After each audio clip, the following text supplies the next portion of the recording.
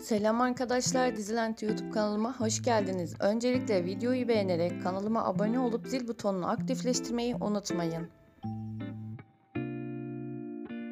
Kan Çiçekleri dizimizde başını düşüp taşa çarpan Dilan'ı Azade Hanım görüp söylediği için Dilan minnettar olduğunu söyledi. Azade Hanım tam tersi olduğunu, katilin kızı olup asla yardım etmeyeceğini söyledi. Eğer öleceğini bilsem lal olurdum dedi. Ve tüm bunları Baran duydu. Bunları duyan Baran hiçbir tepki vermedi. Eve dönen Cevriye ile Cevdet artık evlatlık almaya karar verirler. Baran, Dilan'ı kontrol için doktora götürdü. Doktor kontrolünden sonra ofise uğrayan Dilan ve Baran'ı odasında amcası Derya ve iş ortaklarını görünce şok oldu. Dilan'ın toplantıda olmamasını istemeyen Derya yine yanıldı. Baran Dilan'ı da toplantıya dahil etti.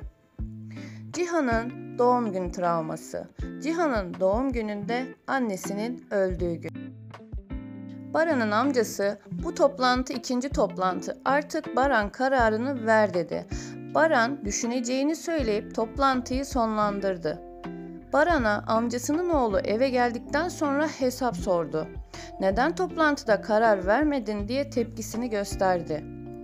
Baran yanlış yapmamak için ben öyle uygun gördüm, benim kararlarımı sorgulayamazsınız dedi.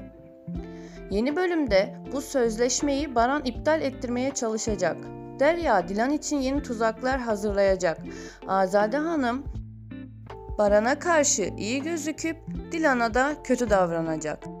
Cevriye ve Cevdet de çocuk sahibi olmak için, evlat edinmek için birçok yere başvuru yapacaklar. Sizler bu konu hakkında neler düşünüyorsunuz? Lütfen yorumlara yazın. Videoyu beğenerek kanalıma abone olup zil butonunu aktifleştirmeyi unutmayın.